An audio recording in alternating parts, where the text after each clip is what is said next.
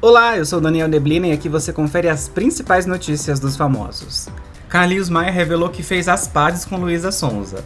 No sábado, dia 28, ele esteve em um dos ensaios de carnaval de Anitta em Recife, Pernambuco, e a cantora foi uma das participações especiais da apresentação.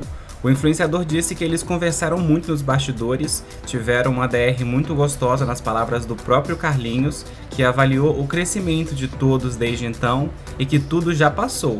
Ele se mostrou grato em poder se desculpar com pessoas que machucou lá atrás, poder ter a oportunidade de ser escutado e refletiu que tudo aconteceu em uma época de deslumbre, quando acabou machucando algumas pessoas, e Luísa foi uma delas. Carlinhos agradeceu por poder rir com ela hoje e colocar tudo em pratos limpos. Segundo o influenciador, o amadurecimento é para isso, que foi um pedido de desculpa sincero, não porque um precisa do outro ou por interesse, mas porque queria estar bem. O desentendimento se deu pouco antes do casamento de Carlinhos Maia com Lucas Guimarães, quando ele protagonizou uma briga com Whindersson Nunes, na época casado com Luísa Sonza.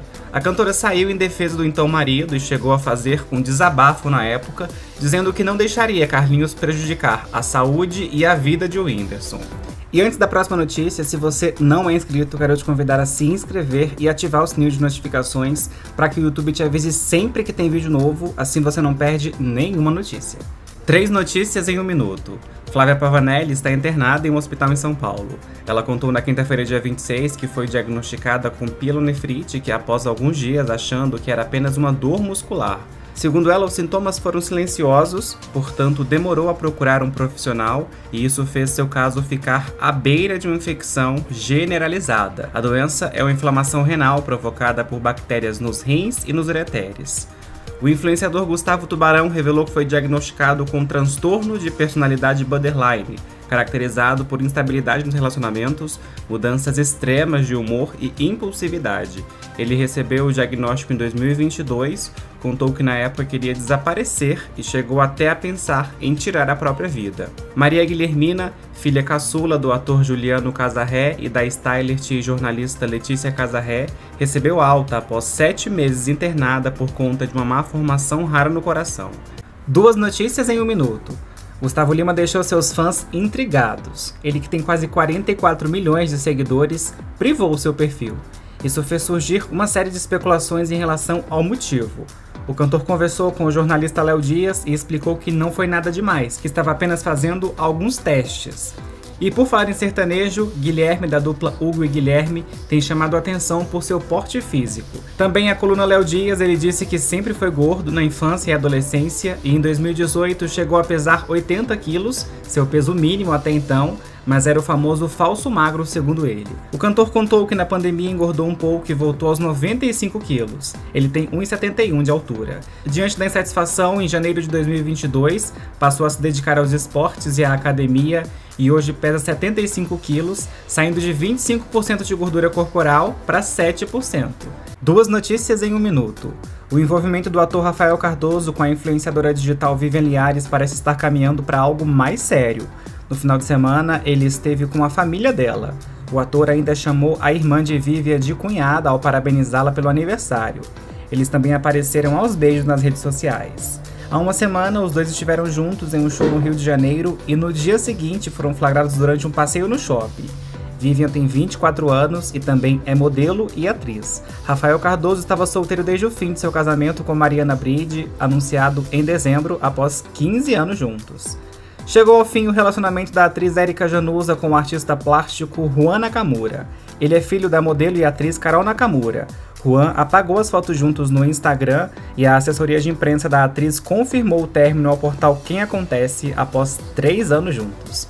A Justiça de São Paulo determinou a penhora dos bens de uma casa do cantor Rick, da dupla Rick e Renner, por conta de uma dívida de cerca de 639 mil reais. A mansão fica na cidade de Itu, em um terreno de 6 mil metros quadrados e 1.200 metros quadrados de área construída. Os bens do imóvel serão avaliados por um oficial de justiça e poderão ser leiloados. O cantor ainda pode recorrer.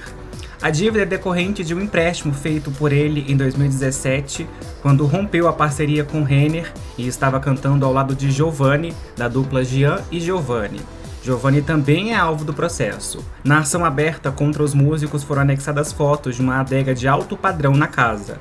Na defesa apresentada por Rick, ele não negou ter feito o empréstimo e afirmou que já pagou cerca de 50 mil reais. O cantor declarou que o imóvel não é de sua propriedade, embora possua o usufruto.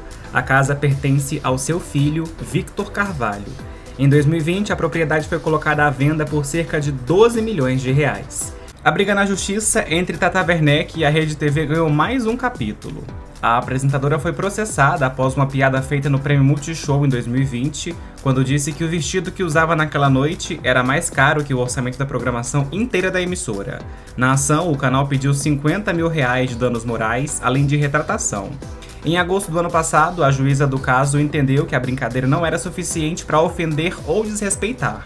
A emissora apresentou um novo recurso em que o dono disse não ter reconhecido humor na fala de Tatá que essa foi a justificativa dada pela defesa da apresentadora.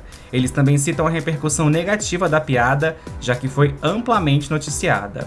Tata, em resposta através dos advogados, resgatou quando o UOL noticiou que um programa da madrugada da Band conseguiu ter mais audiência que praticamente toda a programação da rede TV e questionou se o canal também pretende processar o portal de notícias. Aguardemos então as próximas decisões. As informações são da colunista Fábio Oliveira. E é isso, foram estas das notícias. Se não deixou seu like, aperta o joinha e deixe aí um comentário com sua opinião. A gente se vê.